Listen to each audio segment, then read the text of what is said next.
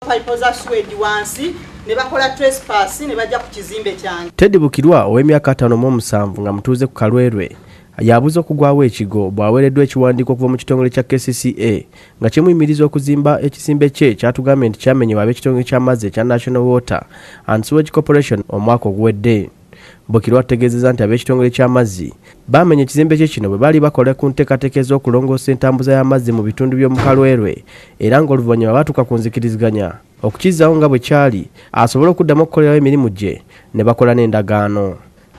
Kati waayitawo ebbanga ne mbawandiikira ebbaluwa.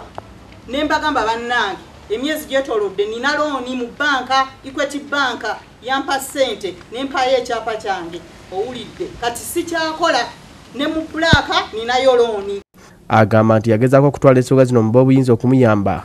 Wabula n'atayambibwa kyokka yagenza okulaba nga aba kcca bamuwandiikira okukomya okuzimba nga bamutegeeza nga bw'atalina pulaani kyayise kobaane kati bwe batandise okuzimba bo bagambye bazimbako mu maaso wokka kuba tulakita yaabwe we yayita. Kyokka emabega yonna practice ziizino zonna zijjudde. Ekizimbe kyali kikadde kyazimbibwa mu myaka gya kinaana kya maama wange. Gye mbadde nzijangamu akasente alumiriza bayinginiya ba national water okumutiisatiisa nga bamutegeeza nga bw'atayinza kusinga musango ne baba bagenze mu kkooti tugezaako okutuukirira ab'ekitongole ky'amazzi wabula ne batutegeeza nga bo bwe bali abeetegefu okugenda mu maaso n'okuzimba ekizimbe kya bukirwa.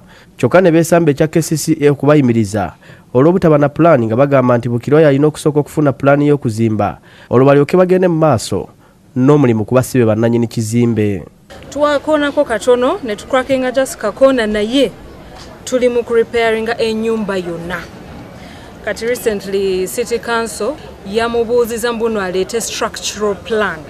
Kati national water kyetulinze obed lutale yakusakidde eggulya lino ku lwabukedde tv